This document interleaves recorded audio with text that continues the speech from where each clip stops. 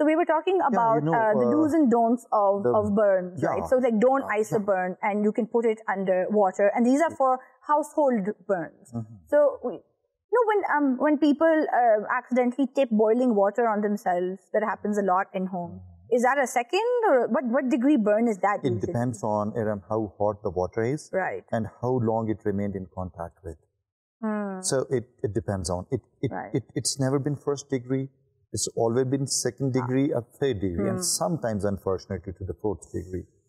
Uh, I was talking about when this unfortunate event happens, any place, like even simply on the way, if uh, somebody accidentally opened up the radiator and Hmm. has spilled up the hot water, it can happen in the office. Yes. It can happen anywhere. happen anywhere. Anywhere. And nobody is immune to burn. Anybody can, right from Quite right. You to- can't just sort of magically Yeah, be is. like, "Ah, I'm not burning at all." True, true, true. So I'm now again because curious Yeah. if, and I'm again wanting to sort of talk about household instances yeah, of that is burning. I was coming about that when something has happened to, what we should do, one, we should omit the source. We Right. should be away from the source. okay. Right?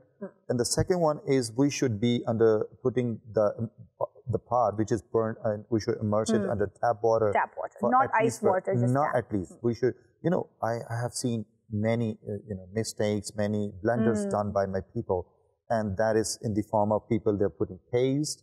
they're- Yes, they're- that's a real sort of you know sort of standard thing. Put yeah, toothpaste on it. toothpaste. They're putting, you know, they, these are the atta, Hmm. and they are putting, you know, uh, so many like egg, mashed egg. Ah, They are creating these masses. Hmm. They don't are, do that. No they- they toothpaste. never- Dr. Bajwa has busted this yeah, myth. it, it, it should be condemned. Right. Everybody should be told that never, for God's sake, never hmm. do it.